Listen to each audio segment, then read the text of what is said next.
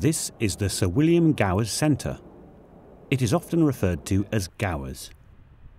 Gowers is a hospital ward for people with seizures who need further assessment. Gowers is based at the Epilepsy Society's Chalfont St Peter Centre in Buckinghamshire. Your neurology doctor might ask you to come here after an outpatient appointment at the National Hospital for Neurology and Neurosurgery or at Chalfont. You might also be referred here by a doctor from another hospital. When you arrive, report to reception. Lovely. Doctor can take a seat.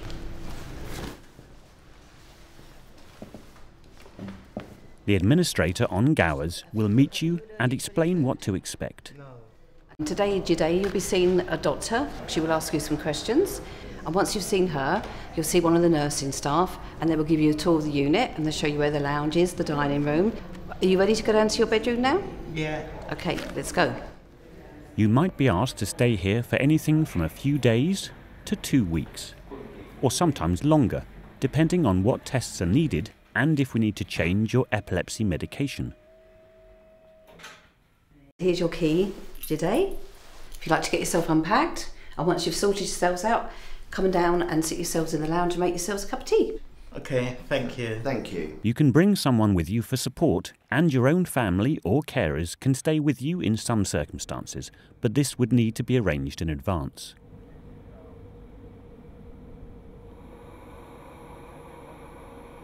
The doctors and nurses will see you regularly during your stay. It helps if you can bring your hospital passport, if you have one. So I see that it's a hospital passport and it's all about you. Yes. So should we go through it and just see what is written in there? The nurses and doctors will have lots of questions to ask you, and you can ask any questions if you have any. Do you know who is your main carer?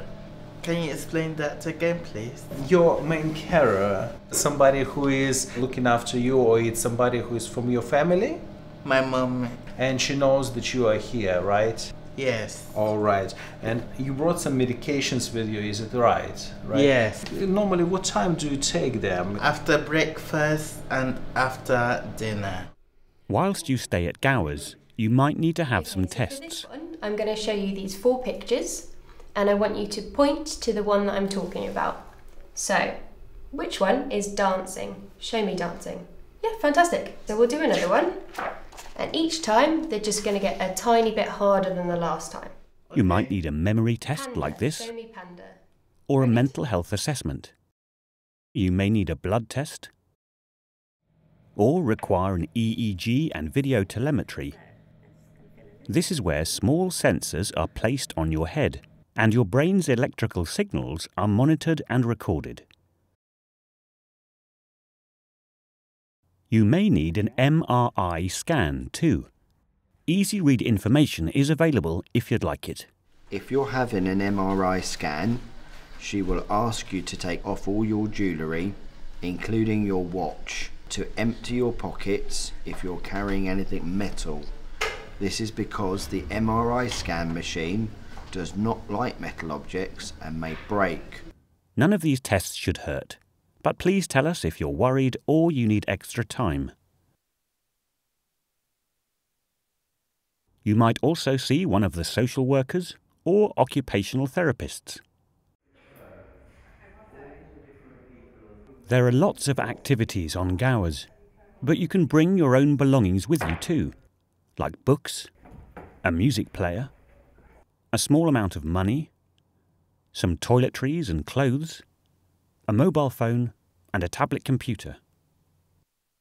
Although Gowers is a hospital ward, you do not need to wear pyjamas during the daytime whilst you're staying there. Once the tests and assessments have been completed, you will go home.